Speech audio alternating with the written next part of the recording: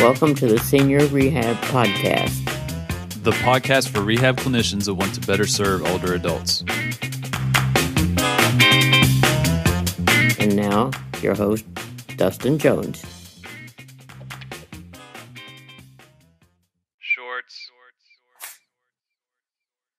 Hello, friends. Welcome to the Senior Rehab Podcast. And today's Senior Rehab short comes from Aaron Swanson at aaronswansonpt.com.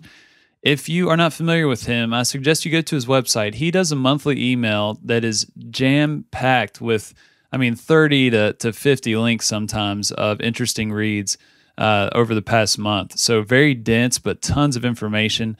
Um, I definitely uh, am a part of that uh, on that list, and I highly encourage you to do so as well. But his article that I want to read for you is called Embracing Complexity The Mountain Stream Metaphor. This was written on April 4th of 2016. For every complex problem, there is an answer that is clear, simple, and wrong by H. L. Mencken. Keeping it simple is important at times. It prevents us from becoming overwhelmed, clarifies concepts, aids in general understanding, and directs the focus towards a single goal. Most importantly, keeping it simple is necessary when communicating new topics or concepts to others. However, the problem occurs when keeping it simple is used a substitute for understanding the complexity. When we oversimplify complexity, it increases the chances of a blunder occurring. Assumptions, cognitive biases, and ignorance all become more prevalent when we start to overlook the dynamic and intricate patterns of problems, situations, and systems. This can be seen in everything from politics to healthcare. Even everyday discussions are often plagued with people oversimplifying a topic to support their perspective, whether they know it or not. Thus, to avoid these cognitive traps and mental errors, it is important to embrace complexity and attempt to identify and study it, not to ignore or eliminate it. One way to understand complexity is through the dynamic systems theory. More specifically, I found the following metaphor from Esther Thelen to be an interesting thought experiment. She invites you to become aware of the ever changing complexity of something as simple as a mountain stream. The mountain stream metaphor. The metaphor is of a fast moving mountain stream. At some places, the water flows smoothly in, in small ripples. Nearby, it may be a small whirlpool or a large turbulent eddy. Still, other places may show waves or spray. These patterns persist hour after hour and even day after day, but after a storm or a long dry spell, new patterns may appear.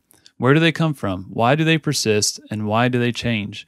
No one would assign any geological plan or grand hydraulic design to the patterns in a mountain stream. Rather, the regularities patent, patently emerge from multiple factors the rate of flow of the water downstream, the configuration of the stream bed, the current weather conditions that determine evaporation rate and rainfall, and the important quality of water molecules under particular constraints to self organize into different patterns of flow. But what we see in the here and now is just part of the picture. The particular patterns evident are also produced by unseen constraints, acting over many different scales of time. The geological history of the mountains determined the incline of the stream bed and the erosion of the rocks. The long range climate of the region led to particular vegetation on the mountain and the consequent patterns of water absorption and runoff. The climate during the past year or two affected the snow on the mountain and the rate of melting. The configuration of the mountain just upstream influenced the flow rate downstream, and so on.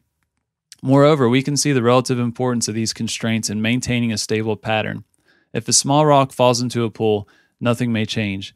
As falling rocks get larger and larger, at some point the stream may split into two or create a new, faster channel. What endures and what changes? A movement assessment example. Let's take the example of someone who can't touch their toes. It may be useful to give this person a specific, simple exercise like a kettlebell active straight leg raise and education, example, thought viruses, to help cause an immediate shift in their movement pattern, kind of like a rainstorm, quickly altering the way the stream runs. The benefit of this approach is that it offers control and predictability, which are two main factors when working with stressed and painful systems. However, as many of us have experienced in the clinic, these quick changes are usually temporary and are neither complete nor permanent fixes in themselves. The rainstorm passes and the stream returns to its former pattern. To truly affect the path of the stream, it's important to direct some attention to the entire mountain system. In the example of someone who can't touch her toes, it is important to acknowledge the mountainous, sorry, couldn't resist, complexity of why. Maybe she can't touch her toes because she has a stiffer body that lays down more collagen. Her parents can't touch her toes, and their parents' parents couldn't touch their toes. Epigenetics? Maybe her allostatic load is too high because she's overstressed from her job or relationships. Maybe she's not motivated. Maybe she has a psychological issue, depression, anxiety, history of trauma, etc. Maybe it's behavioral. Maybe she grew up in a very sedentary lifestyle and preferred to read or play video games for the first 26 years of her life. Maybe she was taught to lift weights or perform athletic techniques improperly and hammered those patterns into her body over many years. Maybe she believes that rounding her back or lengthening her hamstring is dangerous. Maybe she has a cold, neuroimmune connection. Maybe her microbiome is a mess. Maybe she doesn't sleep well and has a circadian mismatch. Maybe it's her vestibular system, somatic gnathic system, or vision. Maybe it's neurodynamics. Maybe it's her respiration. Maybe it's an osseous abnormality. Maybe she can't internally rotate her femur because of her pelvis position. Maybe a joint is tight in her cervical spine that decentrates the rest of the body. Maybe it's a forefoot varus. Maybe it's her posterior hip capsule. Maybe her paraspinals are unable to eccentrically control the movement. Maybe it's her core, or maybe it's one of the other many things that could prevent any human from touching their toes. It's important to acknowledge the intricate, evolving interaction of these variables, which then becomes another variable in and of itself. It's the perspective of the whole is greater than the sum of its parts. Once all this is considered, it will be easier to determine which variables can act as a control parameter to cause the desired phase shift of the system. In other words, maybe for the aforementioned patient, a neurodynamic exercise would provide an adequate stimulus to shift her system into a place where she can perform a full pain free toe touch.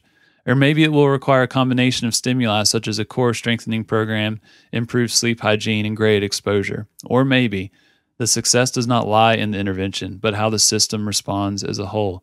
This complexity is why one exercise, manual technique, or communication style will work well with one patient, but have no effect on another similar patient. Or why someone may not do well with physical therapy, but feels better after going to a dietitian or getting a new job. Some people may be able to alter their stream easily with a simple passing weather pattern, while others will need a long term tectonic shift. The art is finding where the change needs to come from. Simple will work at times, but is not a solution for all. The human species is far too complex to be simple. Bottom line it's great to keep it simple on some levels, but don't make the blunder of convincing yourself that it is simple. Instead, embrace the complexity. How do you do this? Dig deeper. Try to gain a better understanding. Always look to learn more. Learn to enjoy the state of not knowing, curiosity. Find the quality. Never be satisfied. Always ask why, then ask why several more times, and dedicate yourself to the lifelong effort of finding the elusive truth. Again, to reiterate, this isn't to say simple is bad.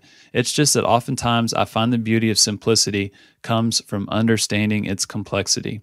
A philosopher is a person who knows less and less about more and more until he knows nothing about everything. John Simon. Thanks, Aaron. Hit me.